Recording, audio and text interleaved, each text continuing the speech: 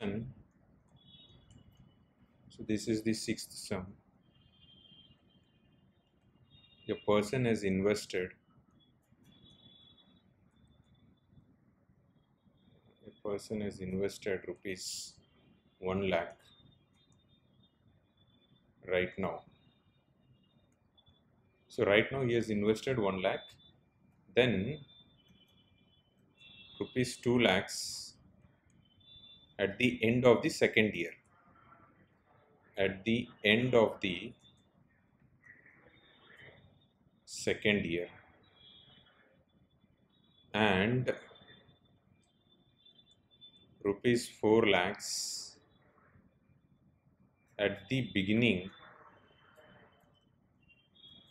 at the beginning of the fourth year how much amount?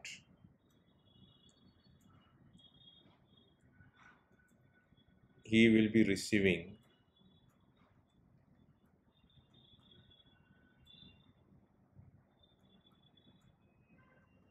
How much amount he will be receiving by the end of the fifth year? By the end of the fifth year if interest rate is 10 percentage per annum. Okay so this is the question. Okay. So 0 1 2 3 4 5 okay. A person has invested rupees 1 lakh right now. So that right now is in end of the zero year. So 1 lakh then 2 lakhs at the end of the second year. So at the end of the second year 2 lakhs. Then 4 lakhs at the beginning of the fourth year. So as good as end of the third year. Beginning of the fourth year means end of the third year. So end of the third year it goes to 4 lakhs. Okay. So how much amount he will be receiving by the end of the fifth year so end of the fifth year how much amount he will receive. If interest rate is 10 percentage per annum okay. So that means this this 1 lakh is growing at the rate of 10 percentage but for how long? So first period second third fourth five fifth. So it will be so future value is equal to present value into 1 plus r to the power n. So so present value is 1 lakh. It is growing at the rate of 1 plus 10 percentage for 1 2 3 4 5 5 so this this will give us the value for 1 lakh. How much 1 lakh will grow to? But then we are also investing 2 lakhs at the end of the second year. So this will be so plus so second year it will be okay. So 2 lakhs 1 plus r. R is again 10 percentage to the power. So how many periods? So second year 1 2 3 so to the power 3 okay. Plus then we are also investing 4 lakhs okay so for this 4 lakhs plus 4 lakhs 1 plus 10 percentage to the power. So 4 lakhs is investing here so 1 2 so for two periods. So you add up all this calculate and add up all this you will get the future value. Okay so let me calculate and write it here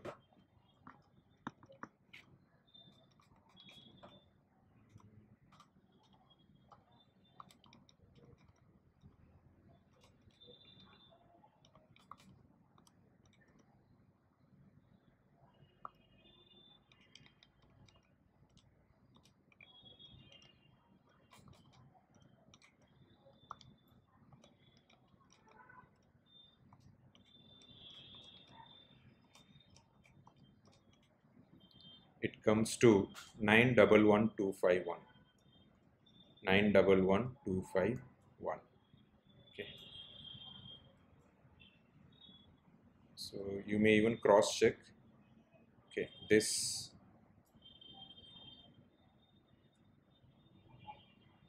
this value first investment comes to uh, 161051 second investments comes to 266200 third investment comes to 484 triple zero.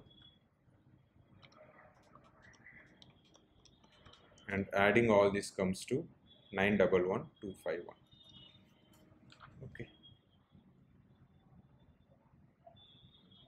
Next one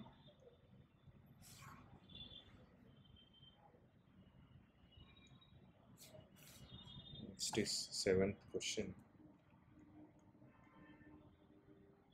A person has received has received rupees 1 lakh by the beginning of the by the beginning of the first year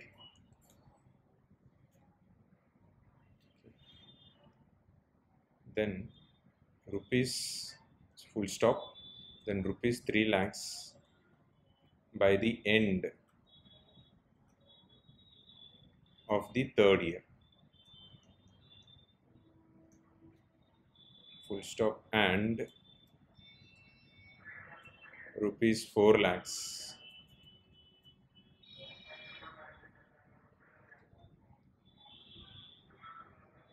at the beginning of the fourth year. At the beginning of the fourth year. Okay how much how much he would he would have deposited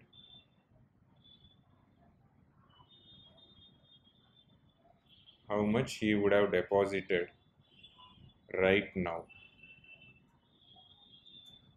If the interest rate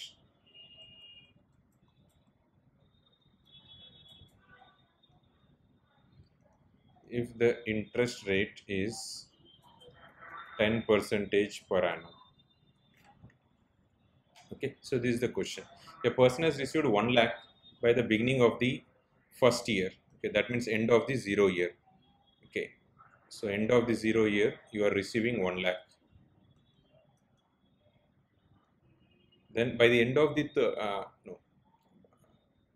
Has received 1 lakh by the beginning of the first year 3 lakhs by the end of the third year. 1 2 3 so 3 lakhs by the end of the third year. Okay. And rupees 4 lakh at the beginning of the fourth year so beginning of the fourth year is also end of the third year only. So it will be plus again 4 lakhs. Okay. So how much you would have deposited right now if the interest rate is 10 percentage? Okay. So right now how much he must have deposited? So he has deposited some x amount because of which he got 1 lakh now and he, he is going to get uh, 7 lakhs at the end of the third year. This is how the question is okay. So so i need to find out the present value of this 7 lakhs. So present value is equal to future value divided by 1 plus r to the power n. So future value is 7 lakhs divided by 1 plus 10 percentage so this is for how many periods? So from here to here 1 2 3 so this is for 3 periods. Okay. So this comes to 5 to 5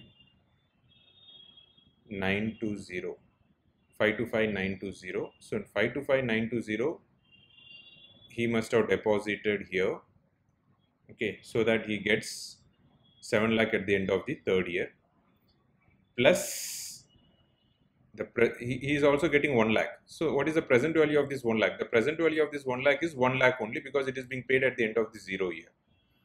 So that means initially he paid this 1 lakh okay this 1 lakh he paid and then he also paid 525920 so total he paid 625920 out of which he got 1 lakh again at the initial stage itself and then 7 lakh at the end of the third year. Okay so the total answer is 625920 625920 thank you